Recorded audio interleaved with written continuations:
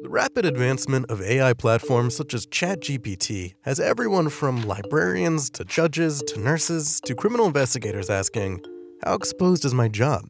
Lots of people are interested in understanding uh, what types of jobs are going to be affected by AI, what policy responses we might want to think about from a societal point of view.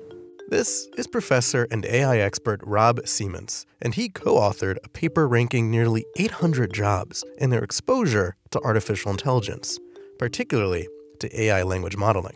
So I'm not in the top 20. However, uh, I am number 22 on the list. The methodology takes 52 human abilities used at various jobs as defined by the Department of Labor. So it could be things like inductive and de- deductive reasoning, image recognition, language comprehension, and to ones that are much more physical. So trunk strength, arm hand steadiness, or something like that. And maps those 52 human abilities to 10 areas where AI most excels. Things like image generation, image recognition, uh, language modeling, and things like that. The more those AI skills and human abilities overlapped, the more a job was determined to be exposed to AI. To focus the study, they did not consider the effects of robots and other automated machines in their research, and that skewed the rankings for some jobs that you might think would be more vulnerable to advances in technology. Workers in uh, a manufacturing setting or maybe transportation and warehouse type settings uh, score very low in, in exposure to AI as opposed to exposure to other types of automation. The type of jobs that the study found are most exposed to AI? White collar occupations often with high education requirements and higher pay.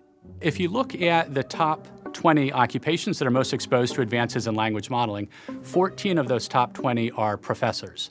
If you look at the number one thing that a professor does, it's prepare and deliver lectures.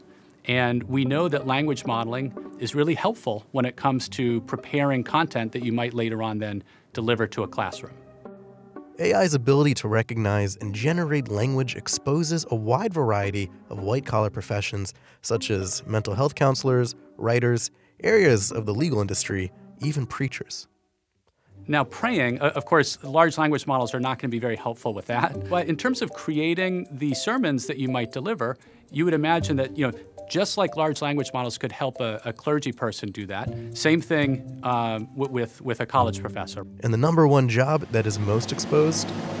Telemarketers. Part of the reason why telemarketers are so exposed to advances in language modeling uh, have to do with probably the amount of uh, speaking that they do and the amount of you know listening and responding on the fly to the comments that they get from whoever they're calling. So, how exactly might AI change our jobs in the future? Now, just because an occupation is more exposed to advances in AI doesn't mean that that job is at threat of being substituted. And it's not that lots of jobs will disappear. I don't think that will happen. However, I do think that many, many jobs will change.